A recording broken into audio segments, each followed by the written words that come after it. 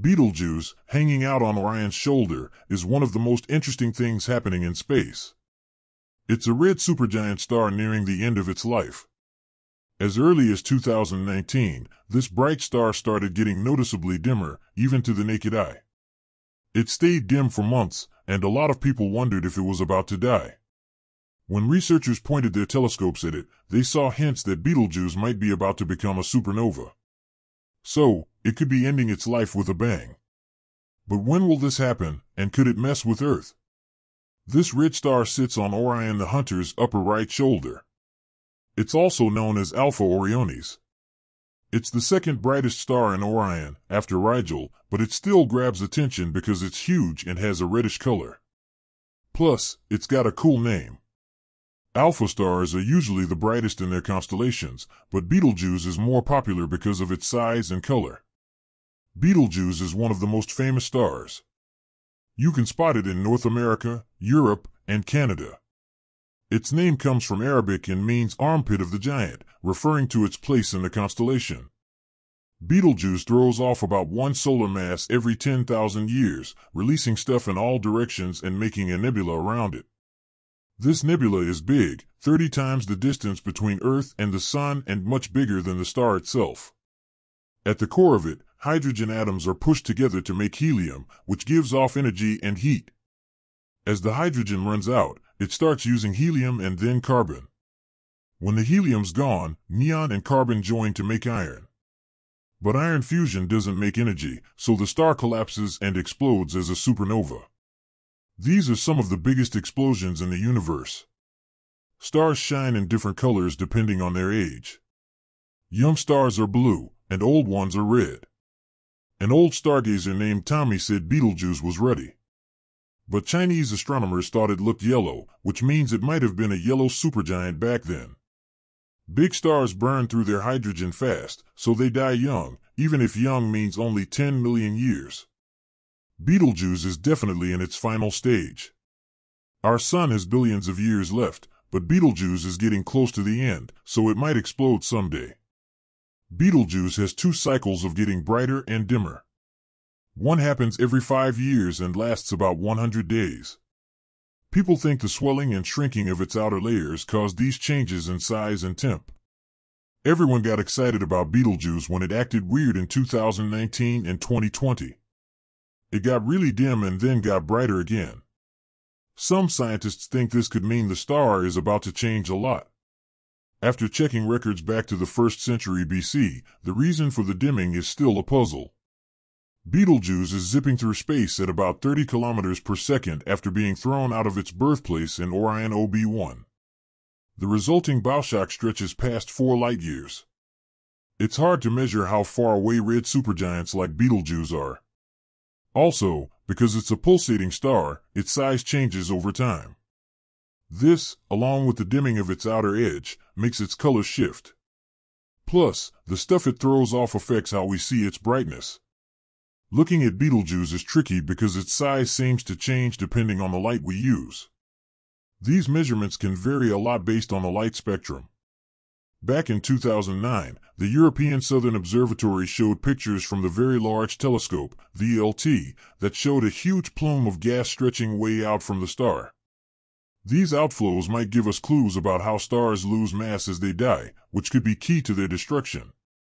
The processes in Betelgeuse's upper layers are still confusing, and we don't know exactly how red supergiants lose stuff. These stars are important for spreading elements around galaxies, so advances in how we study them could give us answers.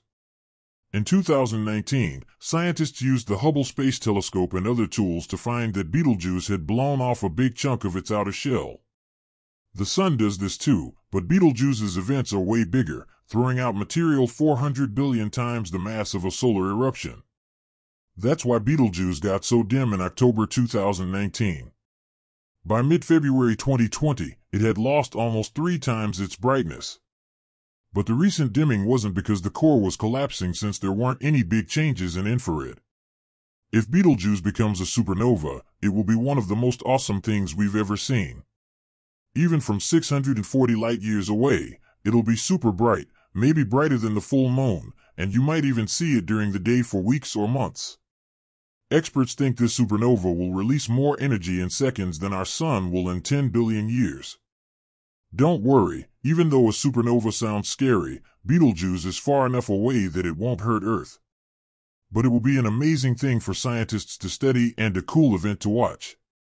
Betelgeuse is back to its normal brightness, but its weird dimming is still being watched closely. Scientists are using the James Webb Space Telescope, the Hubble Space Telescope, and other tools to track light changes, convection patterns, and mass outflows that show the stars unstable. One idea is that Betelgeuse's big dimming was caused by a huge cloud of dust that came from the star itself, which blocked the light from our view. By understanding Betelgeuse, astronomers can figure out the life stages of giant stars, especially those about to become supernovas. This could help us guess similar events in other galaxies, explain how elements fill space, and describe how elements like iron and gold are formed and spread. Betelgeuse is like a ticking clock. It might explode soon or in 100,000 years. Whenever it happens, it'll be an awesome sight and give us a ton of new info. Understanding stars like Betelgeuse is important. Big stars are where heavy elements are made. When these stars die and explode, they send these elements into space, enriching clouds that form new stars, planets, and even life. Betelgeuse's supernova is a good chance to study this up close. Most supernovas we see are far away, so we can't get much detail. But Betelgeuse is in our galaxy and relatively close, so we could watch every step of the explosion. This is inspiring for those studying neutrinos and gravitational waves. When a star collapses into a supernova, it sends out lots of neutrinos and might make ripples in space. If Betelgeuse explodes, detectors could catch this data and give us new insight into stars and the basic forces of the universe. Astronomers are watching Betelgeuse for its possible death and for what it can teach us about stars. Red supergiants are still not fully understood. They're big, unstable, and hard to model. New telescopes and better spectroscopy are helping, but there are still questions that Betelgeuse might answer soon. In the meantime, Betelgeuse keeps changing. Scientists are ready to capture every change if it becomes a supernova. The data could change how we understand stars. Until then, Betelgeuse will be a focus in the sky and in the minds of astronomers a cool thing to watch and a cosmic countdown. It's one of the most famous stars you can see at night. Its name comes from Arabic, meaning armpit of the giant, because of where it sits in the constellation. Betelgeuse throws off a lot of stuff, about one solar mass every 10,000 years. This creates a nebula around it that's way bigger than the distance between Earth and the Sun and way bigger than the star itself. At its core, Betelgeuse smashes hydrogen atoms together to make helium, which releases energy. When it runs out of hydrogen, it starts using helium and carbon. When the helium's gone, it uses neon and carbon to make iron. But iron fusion doesn't make energy, so the star collapses and explodes as a supernova. These explosions are some of the most powerful things in the universe. Stars shine in different colors depending on how old they are. Old stargazers said had a ruddy hue. But old Chinese astronomers thought Betelgeuse looked yellow, which means it might have been a yellow star once. Big stars burn through their fuel fast, so they die young maybe after only 10 million years. Betelgeuse is definitely in its final stages. Our sun has billions of years left, but Betelgeuse could blow any day now. The exact timing is a mystery. Betelgeuse has these cycles of getting brighter and dimmer. One happens every 420 days or so because its outer layers swell and shrink.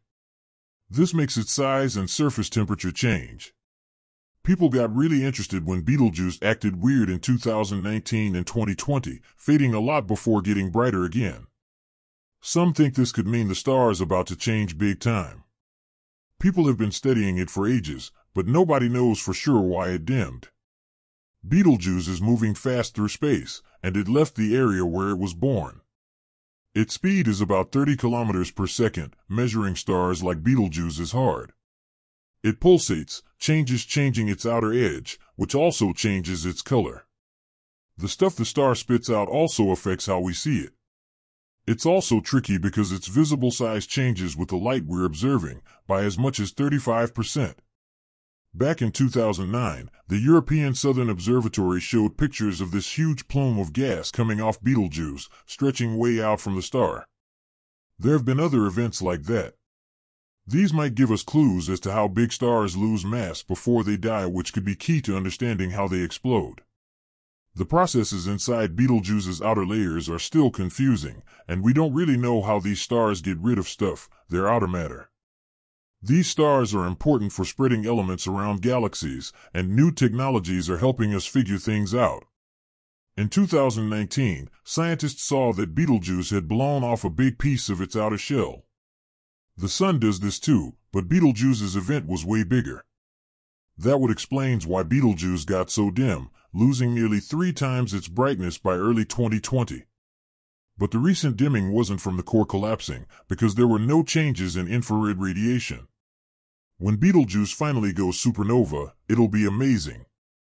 Even though it's far away, the blast will be super bright, maybe brighter than the full moon and visible during the day for weeks or months. The explosion will release a ton of energy. Don't worry though, we're safe. Betelgeuse is far enough away that the explosion won't hurt Earth. But it will be a great thing for scientists to study. Betelgeuse is back to its normal brightness now, but people are still watching its patterns. Scientists are using telescopes to track changes on its surface, patterns in how its energy moves around, and the constant outflow of stuff. People will have to find another word. One popular idea is that the dimming was caused by a big cloud of dust blocking the light from our point of view. Understanding Betelgeuse could help us understand the lives of other big stars, especially those about to explode. It could help us figure out what's going to happen in other galaxies, how elements get spread around, and how things like iron and gold end up all over space.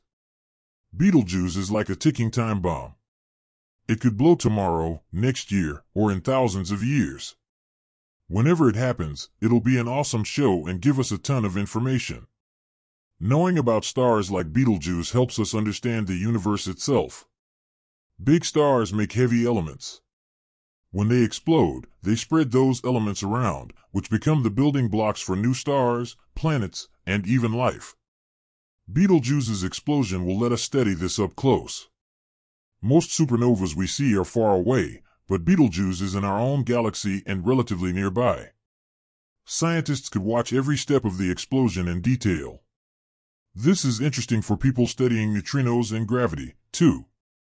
When a star collapses, it releases lots of neutrinos and might even cause ripples in space. If Betelgeuse goes supernova, detectors could catch this data and teach us more about stars and the forces of the universe. Plus, Betelgeuse can teach us about how stars act in general. Red supergiants are still a mystery. They're huge, unstable, and hard to understand. New telescopes are helping, but we still have lots of questions. Betelgeuse might answer some of them. For now, Betelgeuse keeps flickering and surprising us. Its brightness seems steady, but scientists are ready to capture the moment of supernova.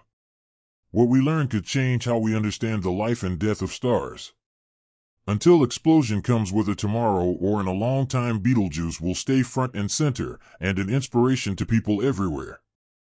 It's a beautiful thing and a countdown at the same time.